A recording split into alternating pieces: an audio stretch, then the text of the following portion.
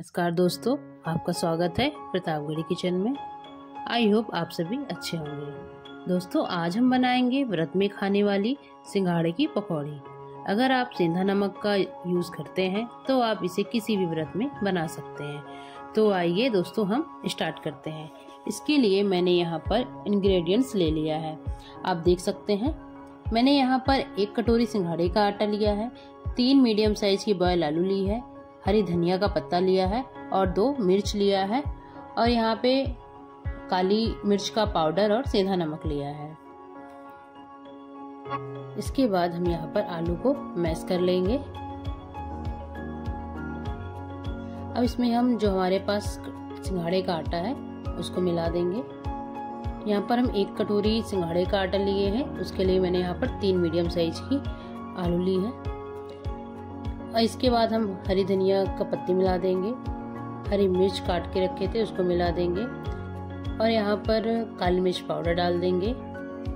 इसके बाद सेंधा नमक डाल देंगे। अब हम इसे मिक्स कर देंगे।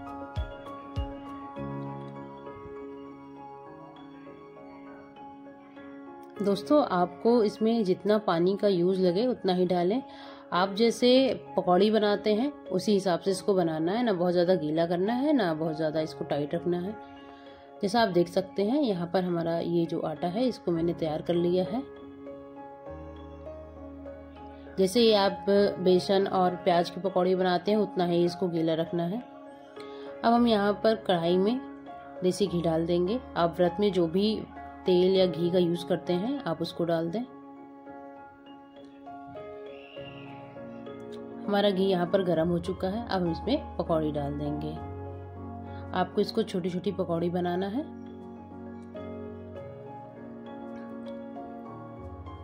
इसको लो फ्लेम पर पकाएँ अच्छे से।